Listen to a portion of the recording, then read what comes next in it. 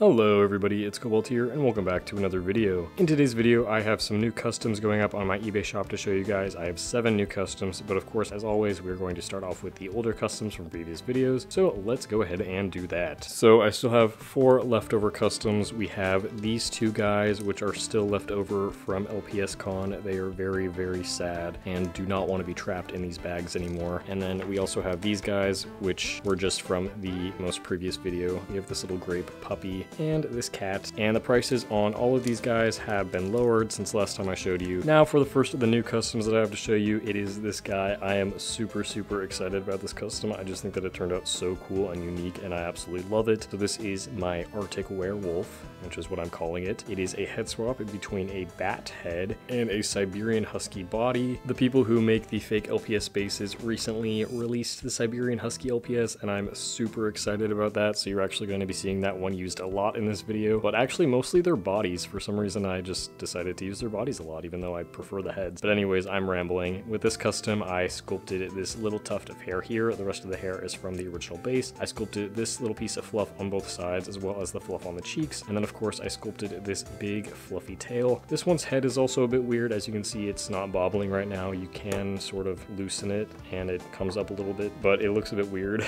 in my opinion, so I kind of just have it adjusted like this. I just think this custom is so cool. It turned out exactly how I wanted. I absolutely love its eyes. They're so shiny and reflective. I've never painted white eyelashes on a custom before, so I wanted to try that with this one. And I love that little tooth that the bat mold has, and I love the colors on this guy as well. I just keep saying how much I love it, but that's really all I have to say about this custom. So next up we have a partial custom. It wasn't in the greatest condition, so I decided to just partially customize it instead of keeping it in my collection or just recustomizing the entire thing. So this is what it originally looked like. It is one of the fake LPS made to look like that one glittery short hair cat. And then of course I repainted her eyes. I added a couple little extra details, so the whites inside the ears. I painted some light pink here on the face, the eyebrows, tips of the ears. There's a little heart on her cheek and some other little details on the body and the back and the tail. I just wanted to keep with a theme that already has, but add some more little areas of interest. The eyes are pretty simple, but I added these little glittery stars in them, and I think that this custom is just super, super cute, and she is very, very tiny, and I love her. Next up, we have another head swap custom. This is going to be a very common theme that you will see throughout the customs in this video, but this is a fox head on a Cocker Spaniel body, so it's a fox spaniel. This head swap idea was inspired by Willis Panda Cafe over on Instagram. She does so many customs with this head swap and they all look so cool, so I was like, okay, I have to try that out. So I did it on this girl here.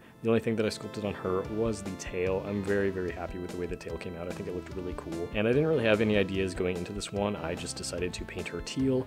And then as I was painting it, the two teal colors mixed together sort of reminded me of like a ghost. So I decided to stick with that theme and give her sort of like a ghoulish spirit look to her with her color palette and her design. The stripes on the body kind of look like rib cages in my opinion. And she just looks super cool and whimsical. And she even has little skeletons in her eyes for the eye shines. I know it's not Halloween anymore, but it is never too late to make a Halloween custom. Like I said, there's a lot of head swaps in this video, so as you can see, the next custom is another head swap, and this is another head swap with a fox head, and the body is from a golden retriever.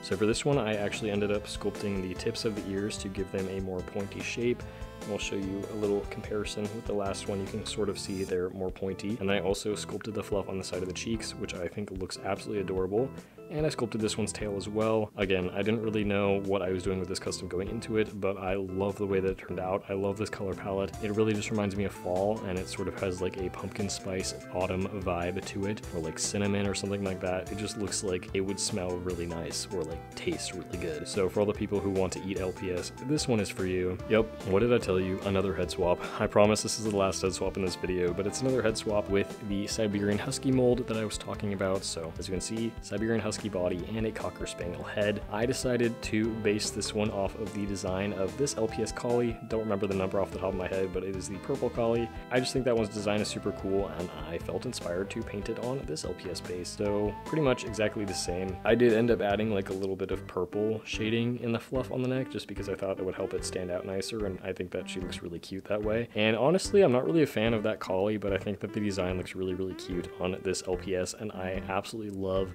the Cocker Spaniel head on this body. I think it looks so cute, even if the head does look a little bit massive. Alright guys, second to last custom. This is another custom inspired by an LPS that already exists. It is inspired by this LPS kitten right here. And this custom was originally not going to be made at all or be part of this custom drop. But I was scrolling through Instagram and I saw this post by this person. And they basically make a bunch of like edits of LPS where they take designs from other pets and put them on different molds. And they said that you can make them into customs if you're customizer. So I saw this design and I thought it was so cute. So I rushed immediately to make this custom super fast because I already had this light orange and dark orange mixed and I thought they were perfect. So I was like, well, I cannot pass up this opportunity. I have to make this custom. And honestly, I wish this was a real LPS because she is, again, just so cute. I know I keep saying that, but it is true. Just look look at this face, look at those eyes, look at those colors. I absolutely love it. And now for the final custom of the video, we finally actually have a full Siberian Husky base used and not just the body. So this is another Hellhound custom. I sculpted the horns on this guy, as you can see, and his little eyebrows. Other than that, nothing else is sculpted. I love the way that these colors look together. I think they look so cool, especially like this brighter salmon color and the teal of the nose. I definitely want to use a palette like this on a future custom and give it some fancy eyes, sort of my dragon eye style that I've done on a few customs before. And it's got some really cool dark blue paws and a really cool bright teal nose. Nothing too crazy going on with this custom. I think the overall design is very simple, but it's also very striking, and I love the way that it looks. And this base has a little bit of trouble standing up because his horns are so big, but I swear if you just position it correctly, it will actually stand up. Come on, come on. He's, he stands, I promise.